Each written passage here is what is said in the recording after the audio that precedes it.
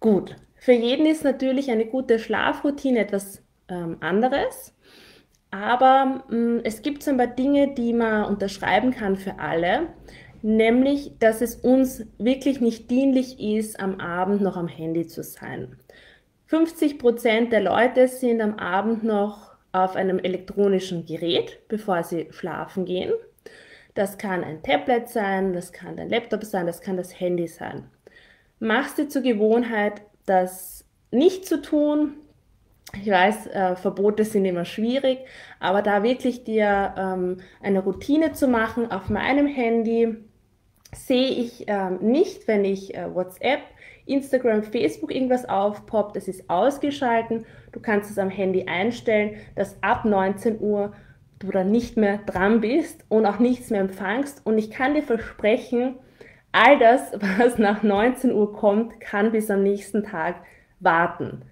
Ich weiß, am Anfang ist es komisch, vielleicht wenn man das Gefühl hat, man muss immer erreichbar sein für die Menschen man gewöhnt sich dran. Die Freunde gewöhnen sich dran, die wissen, okay, man ist jetzt nicht die ganze Zeit auf WhatsApp oder Instagram. Die zweite Schwierigkeit, glaube ich, mit dem elektronischen Gerät ist, ist einfach dieses Blaulicht, schalt das aus. Da gibt es eine App, die nennt sich Flux. fürs MacBook. Ich habe ein MacBook. Beim Handy kannst du Augenschonen einschalten. Ich habe das immer eingeschalten. Das hilft einfach, dich schon auf den Schlaf einzustellen. Ich würde alle elektronischen Geräte aus dem Schlafzimmer verbannen. Ein wichtiger Punkt ist, und jetzt komme ich zu den sieben Arten, um besser zu schlafen, ist die beste Zeit für den Workout ist zwischen 15 und 19 Uhr und du kennst mich, weißt, dass ich in der Früh trainiere. Das ist so, das ist meine Gewohnheit, das werde ich auch weiter behalten. Aber bitte schau, dass du nicht nach 19 Uhr trainierst. Also nochmal, zwischen 15 und 19 Uhr ist die beste Zeit für dein Training. Da ist dein Körper auf der richtigen Körpertemperatur, da ist er gut drauf eingestellt. Danach beginnt die Melatoninproduktion. Das heißt, dein Körper geht schon in diese Ruhephase und wenn du da noch trainierst, kannst du wirklich deine Schlafqualität verschlechtern. Das ist äh, ein wichtiger Punkt. Arbeite mit einer Atemtechnik. Das kann die, es gibt ganz viele Atemtechniken. Es kann sein, dass du deine eigene entwickelst, vielleicht vier, sieben. Dann atmest du vier Sekunden ein und sieben Sekunden aus. Wichtig ist bei der Atemtechnik, dass du den Ausatmen verlängerst. Also stell dir immer so vor, wenn du länger einatmest und hältst, ist so ein bisschen mehr Aktivität in dir drinnen. Wenn du aber ausatmest und den verlängerst, wird das vegetative Nervensystem mh, mm, aktiviert. Wenn du mehr zum Thema Atemtechniken wissen möchtest, dann können wir dann nochmal ein eigenes Coaching dazu machen. Teil auch einfach ein in mentalen emotionalen und physischen Körper. Alle drei haben unterschiedliche Bedürfnisse vom Schlafengehen. Und wenn wir es jetzt zum Beispiel nochmal beim physischen Körper sind, kann dir ein Magnesiumbad sehr helfen. Nicht jeder verträgt eine große Dosis von Magnesium, deshalb kannst du das über das Badewasser zuführen und das entspannt schon mal deinen physischen Körper und stellt dich auf den Schlaf ein. Das Thema Dankbarkeit, da geht es um den mentalen oder vielleicht auch emotionalen Körper, ist ein großer, großer Punkt. Das Augenmerk einfach darauf zu Dinge, richten, auf fünf Dinge, für die du dankbar bist. Mm, ich sage mal so, wir vergleichen unser Inneres oder unsere Realität mit den Highlights der anderen Menschen. Früher hat man sich vielleicht mit dem Nachbar verglichen, jetzt vergleicht man sich mit der ganzen Welt, man hat Instagram, Facebook und du siehst ja immer nur die Highlights der Menschen. Niemand zeigt dir, dass er auch nicht 24 Stunden happy ist, sondern die schönsten Bilder, die Leute sind auf Urlaub, sie kriegen Babys, sie heiraten. Hab das immer im Hinterkopf und führe es ein, dir ein Dankbarkeitstagebuch zur Hand zu nehmen und du wirst sehen, dass dein Leben extrem reich ist nichts Schlimmeres, als wenn du dann Gedanken hast ähm, im Vergleich. Eine ganz, ganz tolle Technik, mm, die du mit dem Schlaf oder die deine Schlafqualität verbessern kann, ist das EFT-Klopfen, Emotional Freedom Technik. Wenn du einfach Gedanken hast oder Dinge, die dich belasten, zum Beispiel auch das Thema, dass du vielleicht nicht einschlafen kannst, dann kannst du das Problem benennen und sagen, hm, auch wenn ich gerade schwer einschlafen kann, liebe und akzeptiere ich mich genauso, wie ich bin. Sollte sich die Liebe für dich ein bisschen zu stark anfühlen, dann kannst du mal nur akzeptieren sagen. Das EFT-Klopfen, da kannst du nichts falsch machen. Da geht es um die äh, chinesische Medizin auch mit den Meridianen, die wir stimulieren. Und du startest hier beim Karate-Job und sagst, auch wenn ich momentan schwer einschlafen kann, liebe und akzeptiere ich mich genauso, wie ich bin. Auch wenn ich das Problem XY habe, liebe und akzeptiere ich mich genauso, wie ich bin. Auch wenn ich das Problem XY habe, liebe und akzeptiere ich mich genauso, wie ich bin.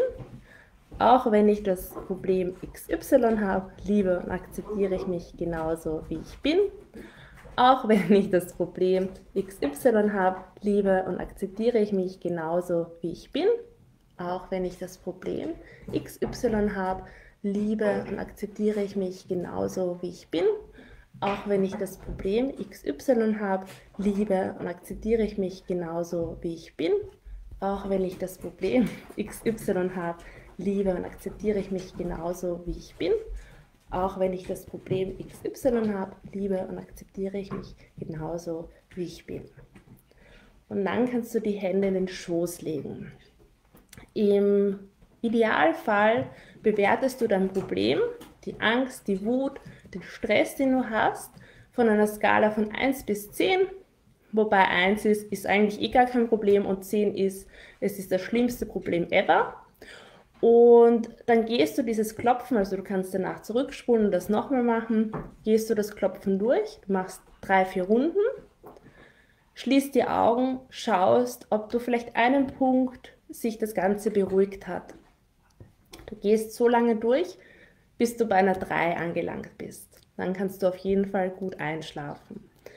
EFT, Klopftechnik, ist glaube ich, in dem Fall so ein super Game Changer, wenn du emotional und mentalen Stress hast und einfach gerade ein Thema hast, dass du schlecht einschlafen kannst oder dass deine Schlafqualität schlecht ist, weil manchmal fühlt sich so an, wie mm, man wertet sich vielleicht selber deshalb ab und kommt dann in eine Abwärtsspirale hinein.